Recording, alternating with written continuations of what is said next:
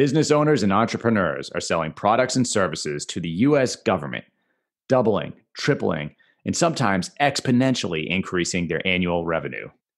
But not all companies are successful selling to the government. There's a right way to do it and a wrong way to do it. I'm here to help companies of all sizes actually succeed with government sales and start winning contracts. I'm Richard Howard, and this is Government Sales Momentum. Hey guys, thanks for tuning in to the Government Sales Momentum podcast slash video. I'm Richard Howard. Today we're covering a topic that a lot of my uh, clients and uh, consulting clients have brought up, especially if they've been selling to the government for a while or trying to. And if they're frustrated, often they'll make the comment, this looks like it's rigged, or government contracts look like they're rigged, or just our competitors have such an advantage. How can we break in there? So the short answer is no, they're not rigged. There's thousands of pages of regulations and laws that uh, prevent that type of thing and, and, punish those that do try to uh, do something illicit or try to influence in an illegal way. But from a small business perspective, especially, it can especially if you're new to uh, the federal marketplace, it can definitely appear that there is some type of unfair advantage or some underhanded dealing going on. And there's a few there's a few reasons small businesses may think that, right? So I've talked to uh, over a couple hundred companies in our consulting practice, and here's some of the comments that they will bring to me. Hey, you know, we're writing proposals all the time and we're not winning anything. Or, hey, it looks like the same companies are winning over and over again.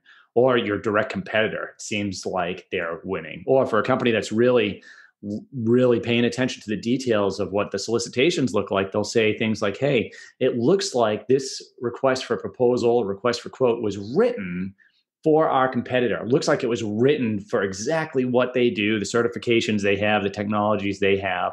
Like, how is that possible? And they're winning it. This is rigged. So, why does it appear that way? Why is that happening? Well, the first thing, there's really two things going on there, right? But it all comes down to your strategy and how you're approaching the federal marketplace. So these companies that are winning over and over again, they're really just copying what the big defense and government contractors are doing and have been doing for decades. And this isn't really written anywhere. It's not uh, published that this is how what you're supposed to be doing, but they're all doing it, and it's perfectly legal.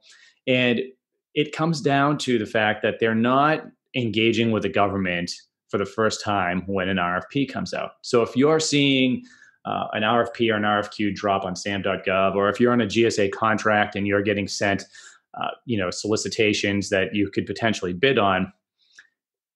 If that's the first time you're engaging with the government, your odds of success are extremely, extremely low. Not saying you can't win, right? You, you can't um, predict everything that's going to come out. You know, at some point you're going to see an RFP or an RFQ that looks like it's perfect for your company.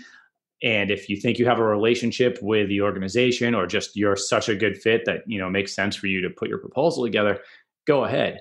But what companies are doing is they're identifying opportunities six months, a year out, sometimes for especially larger projects, years in advance, establishing relationships with those offices and then influencing requirements, right? So let's talk about the the RFP solicitation that you saw come out looks like it was written for your competitor and then they win it. Has to be rigged, right? No. So, in fact, what probably happened there, and this happens all the time, is six months, a year before that solicitation ever came out, there was probably a request for information where sources sought. Now, your competitors, I guarantee, are responding to those, right? Now, all companies aren't responding to RFIs and sources sought, but the smart ones are. And when they respond to something like that, there aren't a lot of rules governing that the way that a RFP um, it is with an RFP. So if a request for proposal comes out, you are bound by what they're asking for, and it's very specific. You need to submit everything on time. You have to really pay attention to the details and be thorough and really not only answering um, what the request for proposal is asking for, but really hitting the nuance of what you think the organization needs. But when we're talking about an RFI source of sought, the government's fishing for information. They're trying to figure out how to get that solicitation out there. Can it be set aside for a small business? What are the requirements going to be? Because remember, the contracting officers and program managers aren't the experts in your field, right? If it's a solicitation for construction or building a satellite or you know whatever it is, you're the expert at that if that's what you provide. And so they're looking for requirements. They're looking for, uh, you know, are you a veteran-owned small business, woman-owned small business? Can they even make this a small business set aside? Does it need to be um, competed? for everyone. How many people are actually responding to this? Like, how many people out there, how many companies can actually respond um, and put a proposal in. You know, if, if it's only one company, then that might uh, indicate to the government that this needs to be a sole source contract to the one company that does this one thing. Now, your competitor sees this RFI, you know, for I'm going to say satellite building, just for the sake of the podcast here. And what they're doing is they're answering the questions, you know, hey, maybe timelines, contract recommendations, specific there might be some specific questions about the technology but in addition to that what they're doing is they are suggesting requirements and probably writing them as they would appear in the solicitation itself saying hey we recommend these types of certifications. And you better believe they're recommending the certifications that their company holds. We recommend that this technology be put into the satellite that you're wanting to build. Again everything they're recommending is going to be what that company does specifically. And their goal, your competitor's goal, is to push you out of the equation.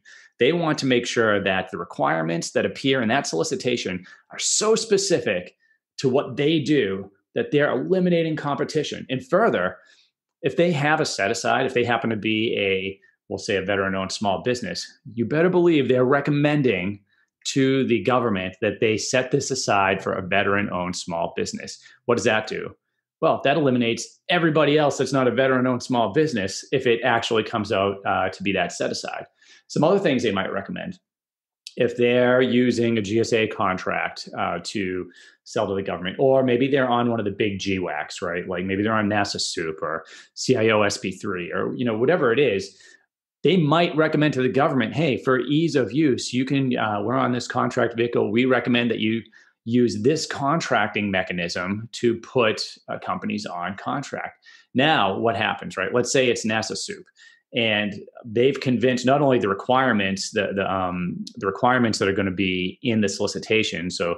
Uh, not only have they influenced that, but they've also recommended that it's going to be on NASA SEWP. So when the RFP comes out and you're seeing it for the first time, you see, first of all, a bunch of requirements that are very specific to your competitor. You're like, oh, that looks like it was written for him.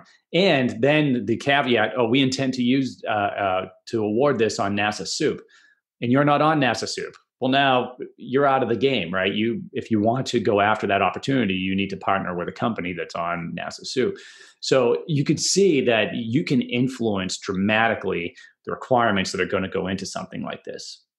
Additionally, you know these companies are always trying to set up meetings with the program management team that's associated with the effort. So very common a company may set up a meeting before or after an rfi response um, to discuss the details to let the program management team know uh, about the company and to learn right? Hey what do you really what is really the details of your problem set that you're trying to solve? So instead of guessing you can get the RFI, the sources sought, some of the published information, then set up a meeting with a PM. And now you're really going to have an in depth understanding of what the problem set is for the government. And you can make a valid attempt at trying to solve that. And you, are just going to increase your odds dramatically of actually winning that contract. So, in essence, government contracts they're not rigged for the most part right? But there's some gray area as far as how you can influence them right? So you just want to do that legally. There's and i absolutely recommend talking to a lawyer if you're um, getting involved with government sales government contracting uh, because there are a lot of regulations and laws in the about how you sell in the federal marketplace and what's allowed and what's not allowed that don't exist commercially in b2b or b2c sales. So hopefully that was helpful government sales are not rigged, but there is a tremendous amount of gray area and a whole strategy that companies that are successfully doing this to influence in a legal way the uh, solicitation. So when uh, they come out, they're just going to be set up for a greater degree of success. All right. Thanks for listening. Feel free to reach out. We're at richardchoward.com. Take care.